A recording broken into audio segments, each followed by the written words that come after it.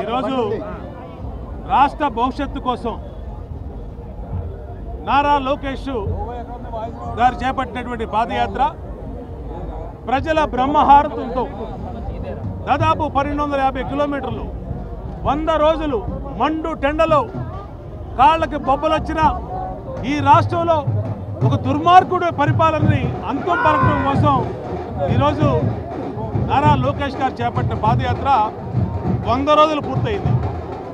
ఎక్కడికి వెళ్ళా రాయలసీమలో మరి చిత్తూరు జిల్లాలో కానీ అనంతపురం జిల్లా కానీ కర్నూలు జిల్లా కానీ బ్రహ్మరథం పట్టి ఆయనకి స్వాగతం పలుకుతూ ఉన్నారంటే ఇవాళ రాష్ట్రంలో ఏ విధంగా పరిస్థితులు ఉన్నాయో అర్థమవుతూ ఉన్నాయి.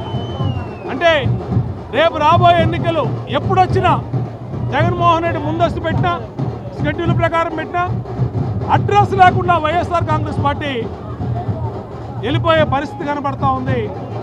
దానికి నిదర్శనమే నారా లోకేష్ గారి పాదయాత్రకి జనాల యొక్క ఆయనకి అపూర్వమైన స్వాగతం పలుకుతున్నటువంటి విధానం.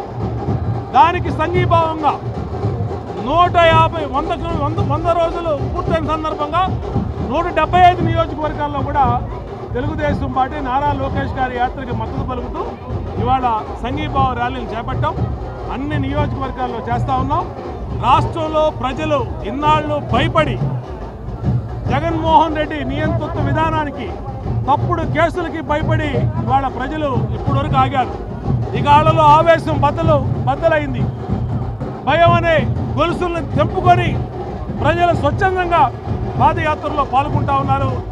బయటకు వస్తూ ఉన్నారు. మళ్ళా మన రాష్ట్రాన్ని కాపాడుకోవాలంటే చంద్రబాబు నాయుడు గారు రావాలని చూస్తున్నటువంటి తరుణంలో రాబోయే రోజులు ఎప్పుడు ఎన్నికలు వచ్చిన తెలుగుదేశం పార్టీ విజయం వన్ సైడ్గా ఉంటుంది. అద్భుతమైన విజయం సాధిస్తుంది.